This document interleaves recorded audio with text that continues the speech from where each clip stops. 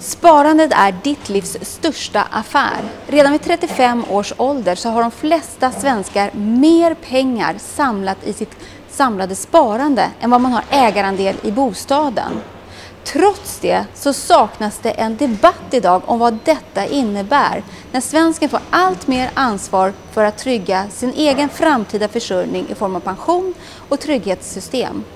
Vad det innebär vill vi debattera på hög nivå och Skandia bjuder in till ett seminarium. Onsdag den 6 juli i Almedalen så kommer vi ha den debatten. Varmt välkommen!